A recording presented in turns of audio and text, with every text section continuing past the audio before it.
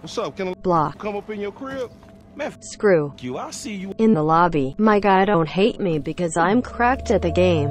Maybe if you got rid of that ye old crown you'd get some diamonds in your chest. Oh, better yet, maybe Napek wouldn't leave your parties to go do whatever the heck he was going to go do. Sky Wars player.